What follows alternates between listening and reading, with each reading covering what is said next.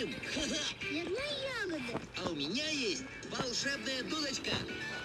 Малина. Черника. Ежевика. клиника. Давайте готовить растишку. Попробуйте. Как вкусно.